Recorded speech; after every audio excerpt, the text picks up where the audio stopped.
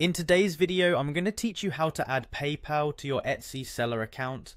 Whether you're a new seller or you've been on Etsy for a while, connecting your PayPal account can streamline your business operations and provide more payment flexibility for your customers. Let's dive right in and get started. First off, you'll want to head over to the Etsy website and log into your account. This step is straightforward, just enter your username and password to gain access to your seller dashboard. Once you're logged in, you'll see the homepage of your Etsy account.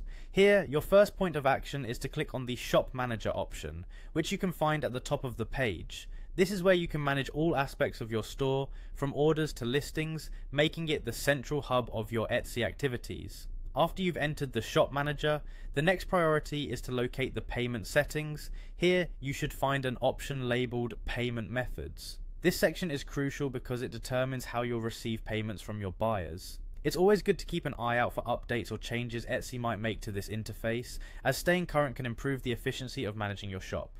Now within the payment methods section you should see an option for PayPal. If you can't find it immediately take a moment to carefully review the different methods listed. Typically Etsy aligns PayPal alongside other payment options making it relatively easy to spot. You'll need to check if the PayPal option is available and ready to be enabled. If the PayPal option is there and ready, simply click to enable it. In the case that it is not readily available, be sure that your Etsy account status allows enabling of additional payment methods, and that Etsy has granted the PayPal option in your region or account type. Assuming everything is in order, clicking this will begin the process of setting up your PayPal account on Etsy. After you've clicked to enable PayPal, you may be prompted to connect your PayPal account. This is Etsy's way of ensuring that your payments are correctly directed to your preferred PayPal account.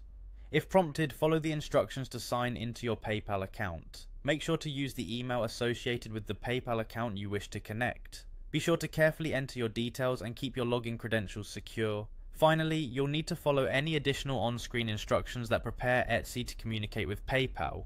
This step usually involves authorizing Etsy to access certain functions of your PayPal account. It's a crucial step, so be sure to review any permissions being requested. Once you've completed these steps, your PayPal account will be linked to your Etsy seller account ready to receive payments from your customers. And there you have it, you've successfully added PayPal to your Etsy seller account, opening new avenues for efficient and flexible payments.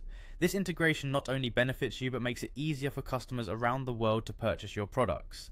Thanks for watching and happy selling on Etsy.